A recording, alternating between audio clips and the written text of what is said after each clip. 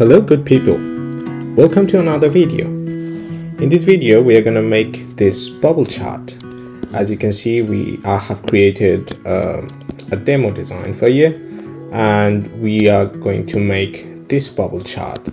Well it looks amazing, it looks pretty to me, um, yet uh, still it, it is really easy to design also it has some good use cases. For an example we can use it in the stat panels in the dashboards to showcase the best performing products or best selling uh, products uh, whatever. There are so many um, use cases of bubble charts.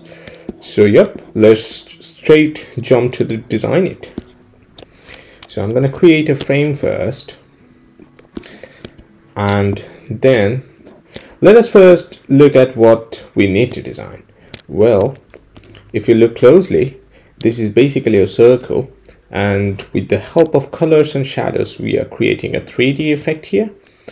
And also we need to create these backgrounds. So a gear kind of stuff, a cogwheel kind of stuff, which we can create with circles again.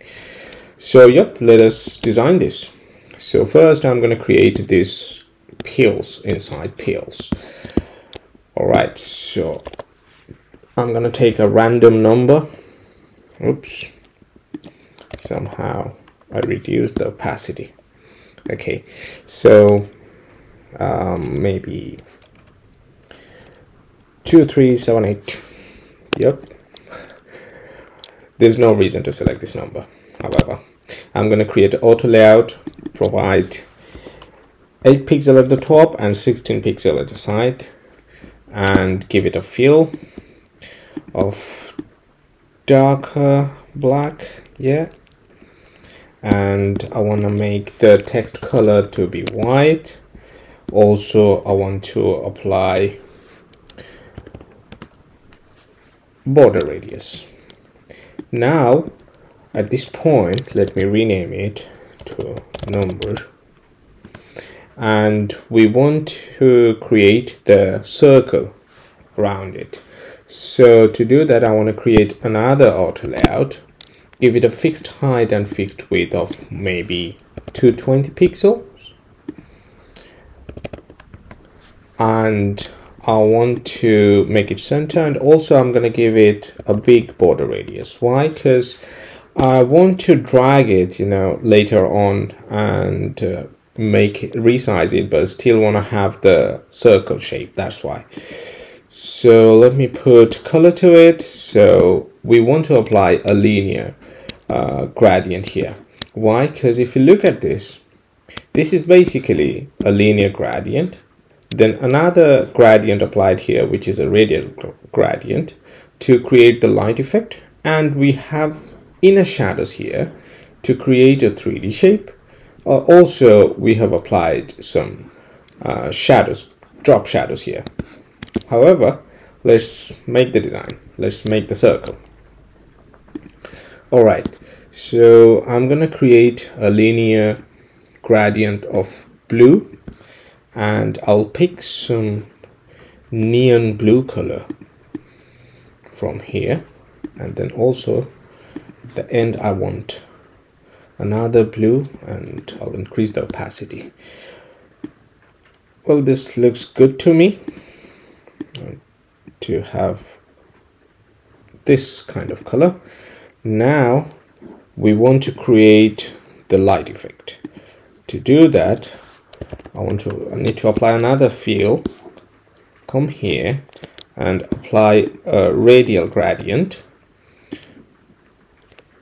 pull it to the top. I want to apply the light here.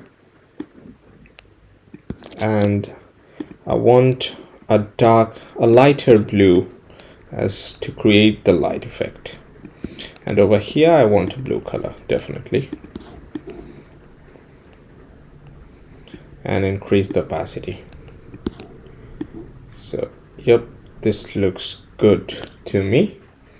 All right nice so before applying the inner shadow, let me show you how we can create the drop shadows here. So, so to do that, I'm gonna use another, sorry, another um, plugin, a plugin named as Beautiful Shadows. so I'm to search it here oh if you don't have it so go to your plugins search it here and you can run it from here also so run it and we're going to control the shadow property by using this tool. And this is to increase the brightness. So let us select our circle and then apply it here. Uh, we want to create a shadow at this point. Uh, but yeah let us let us do that using this tool.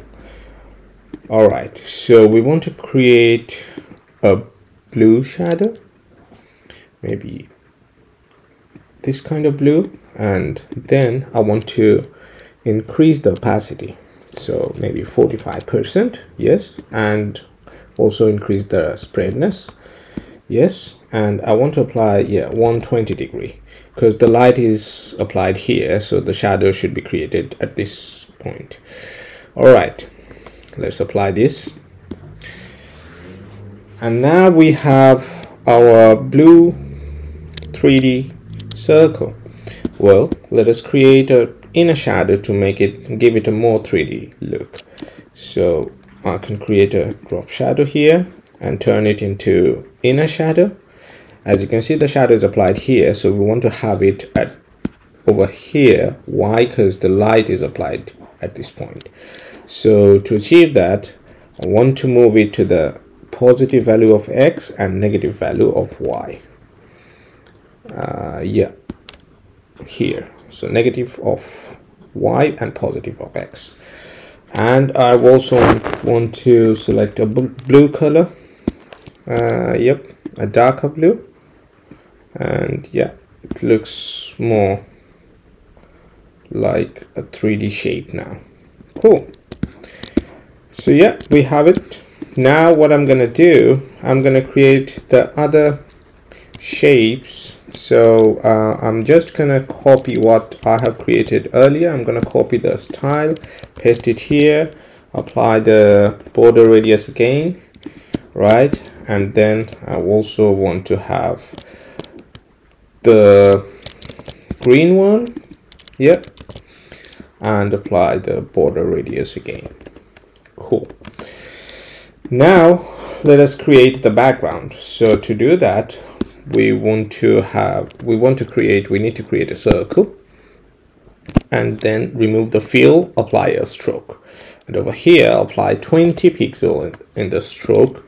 And we are gonna use a, a lighter color of white yeah of, of lighter color of black. And then apply linear gradient. Whichever comes in different in default that's good right? This this one is good. And also I want to have dashed line as a stroke and apply 4 here. All right cool. It's looking good. Maybe we want to have 30 pixels. Right cool. Now we need to create another circle.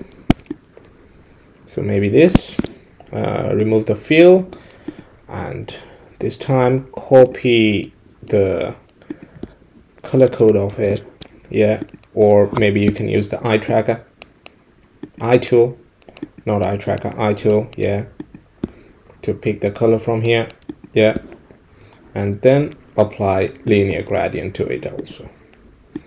Now move it over here to fit it. Yeah it fits. Nice. So now what we can do we can you know um, decrease the size of it place it in a way so that it looks good. It's all up to you now how you make it. So I'm just gonna uh, show you one simple thing. One simple representation of the bubble chart. So yep it's fine move push it i'm going to push it to the top and maybe apply little numbers because the size is smaller than the others yeah? So also i'm gonna push it to the top and this one to the top place. Right and now if i change the background color of it let us apply a frame here. So if I change the background color you'll see it works with the darker dark version also. We just need to change uh, the colors of it like reduce the colors of it. So maybe I'm gonna make it to um, 25 and 25 percent right? And also or we we could change the color also. Rather than reducing the opacity we could change the color. And also I say when we are using darker version darker background we we do not need to use the beautiful shadows plugin. We can use the glowness the glow effect just by using two drop shadows. So let me create those drop shadows for darker version. So I'm going to create a drop shadow here and as you can see if I apply the color here it is at the bottom. So we just need to increase the blurriness here. So maybe 50 percent right? 50 not 50 percent 50 yeah and then we also maybe need another at the top. So I'll say minus 4 here and just pick a color the color of your circle and then increase the blurriness right? So do the same we need to do the same for other two circles here. So yep this is it. Uh, so this way we can create beautiful looking bubble charts and I'm definitely sure that you can use it in your designs to um, showcase different data different structure of data different relations. However uh, I hope you have enjoyed it uh, and I hope you will subscribe to my channel if you're not yet. Alright happy designing